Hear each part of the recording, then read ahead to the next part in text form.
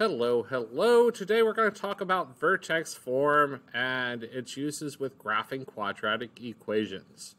So vertex form is y equals a times x minus h plus k. And when we have an equation in this form, we can pull the vertex of h comma k. And our line of symmetry, also called our axis of symmetry, would be x equals h. And this is really helpful when we have an equation in this form. We can quickly look at it, identify the vertex, and identify the line of symmetry or axis of symmetry. So let's look at what a problem would look like. Let's say we have an equation given as y equals x squared minus 8x plus 11, and we're asked to use completing the square to change this into vertex form. So to complete the square, I want to start my problem by subtracting 11 from each side then I want to take half of negative 8. Well, half of negative 8 is negative 4, and negative 4 squared is 16. So I'm going to add 16 to the left side and add 16 to the right side to keep my equation balanced. Then on the right side I have, in factored form, what would factor as a perfect square trinomial. Um, square the first, square the last, sign of the middle squared, and that would factor as x minus 4 quantity squared. Then on the left side, we just had negative 11 plus 16 combined to be plus 5. And then our last step to put this in vertex form would be to subtract 5 from each side. Now, just by looking at the problem, I could pull the vertex of 4, negative 5. Notice how minus 4 is part of the original formula, so the x value is 4, not negative 4. And that's a very common error, so make sure you're looking at if this is a minus 4 here, or subtract 4, your x value will be positive 4. Minus 5, that stays the same sign, but this is really the formula is saying the opposite, or it's part of the formula given. So we have a positive 4 for the x value. Careful to watch out for those. Those are the tricky part. All right, uh, you guys can pause the video here. I want you to take both of these quadratic equations and change them into vertex form by completing the square. Pause the video, come back, check, see how you did. All right, welcome back. So in that first one, we want to subtract 3 from each side. Then we want to complete the square by adding 1 to each side.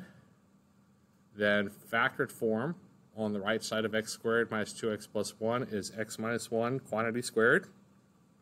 When I added 1 to the left side, negative 3 plus 1 is negative 2. Then my last step is to add 2 to each side, add 2 to each side, and I'm in vertex form.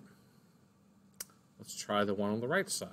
We would subtract 25 from each side, complete the square. Half of 6 is 3, 3 squared is 9, so I need to add 9. If I add 9 on the right side, I add 9 on the left side. Then I can factor x squared plus 6x plus 9 like a perfect square trinomial as x plus 3 quantity squared. Subtract 25 plus 9 is subtract 16 so y minus 16. And then my last step is to add 16 to each side, and that gets me into vertex form. So I want you guys to write down both of these problems, y equals x minus 1 quantity squared plus 2, and y equals x plus 3 quantity squared plus 16. And I want you guys to identify the vertex and the line of symmetry or axis of symmetry. Pause the video here, come back, let's see how you did. All right, so on the first one, we have vertexes at 1, 2, and our line of symmetry is x equals 1. And the second one, we have a vertex at negative 3, 16, and our line of symmetry is x equals negative 3. So double check, make sure you got these x values correct, because remember, the signs are the opposite.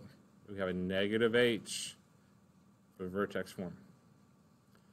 All right, so now in some harder problems we run into with completing the square and changing the vertex form, uh, we have to pull out a common factor. So we have some similar steps to the last couple problems, but there's one additional harder step. So let's look at what one of those problems looks like. So I want to start to get into completing the square. I want to add 24 to each side. And then now I can't do completing the square with this 3 and 18 with these factors in front of the x. So I want to pull out a common factor of negative 3. If I pull out a negative 3, Then I'm left with x squared plus 6x. I could complete the square. But I can't complete the square with these uh, factors in front of my lead coefficient of x squared. So now I'm going to ask myself, half of 6 is 3, 3 squared is 9. So if I add 9 here, what is the impact on the problem? And this is where things get a little complicated because putting a 9 here is not just adding 9 to this side because it's a 9 times this negative 3. So the impact to the entire right side of the problem by putting a 9 here, 9 times negative 3 is negative 27. I'm subtracting 27 on the right side. So to keep my equation balanced, I have to subtract 27 on the left side, which looks weird. I added 9, but my impact of adding 9 was negative 3 times 9 is negative 27. So to keep the equation balanced, I have to subtract 27 on the left side. So if you have highlighters, you like to use different colored pens, now is a great time to highlight that this is a tricky step. Watch out for that. Then completing it, much like we did on the other problems. We can uh, factor by completing the square. Then I have 24 minus 27 is negative 3. And then my last step, add 3 to each side.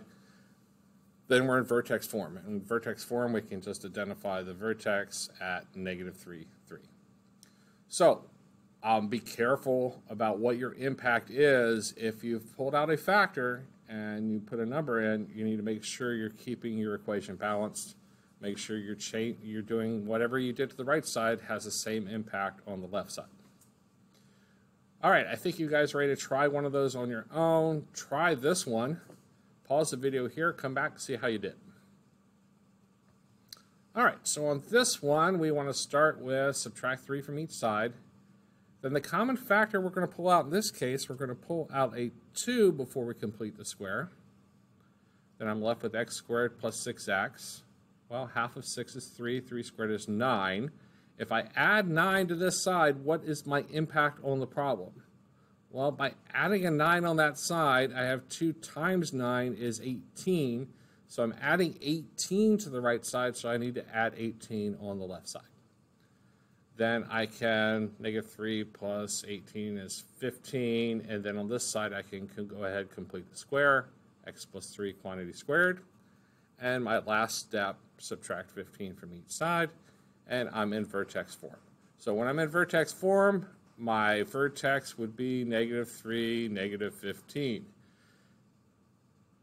Easy one to finish on. You guys try this one. Look at the quadratic in vertex form. Identify the vertex. Identify the line of symmetry.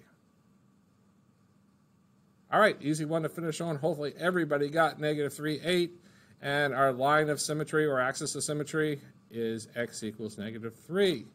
And I hope that helps you guys with your graphing quadratics by using vertex form. Have a great day.